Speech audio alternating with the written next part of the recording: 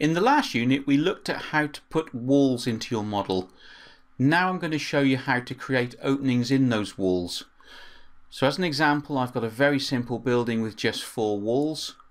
If I switch to a 3D view you can see our four wall instances there. So let's go ahead and form a wall opening. If I switch back to my level 0 floor plan the wall opening tool can be found on the architecture menu and you move along to the opening panel and up there you will find wall opening. So I select that, put my auto reminder to save away. I select a wall, click a start point for the opening, click an endpoint for the opening and the opening itself is created. I'll switch back to my 3D view. There is the wall opening we've just created. You can create these directly within a 3D view, so I'll do another one now. So remember, architecture, opening, wall.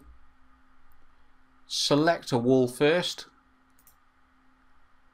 click a start point, click an opposite diagonal endpoint for your opening, be whatever shape you, you want that to be.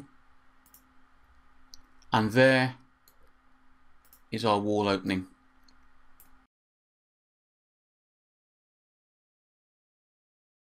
Once you've created your wall opening, you can adjust its properties just like any other element within Revit. So I'm looking at an elevation view here, the south elevation. Here are the two wall openings I've just created. Let's take this one here. So if I select it, in the properties palette you can see the properties, i.e. its parameters and values. So it's got a top offset, a base offset, a base constraint and a top constraint. You'll remember these from the last unit on walls so at the moment, this wall opening is related back to level 0.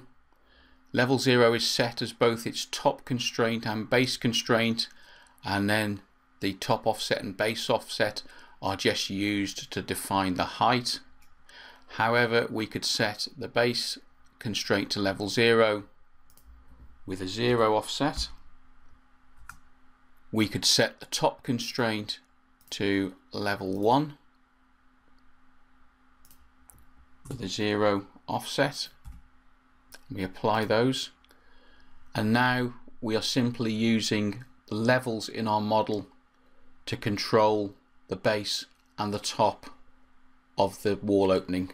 Just going to select that wall opening again and show you that you've got four little filled in triangles here which are going to control grips just to demonstrate that you can manually adjust the height and the width of that opening directly within a view.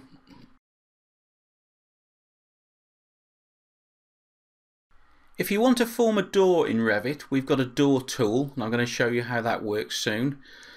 Likewise, if you want to form a window, we've got a window tool. So what exactly is the wall opening tool for, and when would you use it? I find it useful for small ad hoc openings in walls, for example where we've got services or structural beams that, that need to come through the wall and we don't want the wall to clash with them. So for example, let's say we've got a suspended ceiling at this level and this is a party wall. If I go to wall opening, cancel that screen there. We might want to put a small wall opening in this wall to allow duct work or pipe work or a structural beam to come through this wall so it doesn't clash with it. And that completes this unit. To get the most out of this training material, please take the complete course online at bimscape.com. Here you will find a complete learning management system that allows you to work through the course at your own pace. Comprehensive written tutorials provide additional information to that found in the training videos. Mark each unit as complete as you finish it and move on to the next.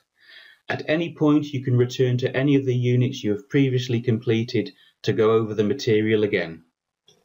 If you'd like to take this course online, please visit www.bimscape.com forward slash Revit for details.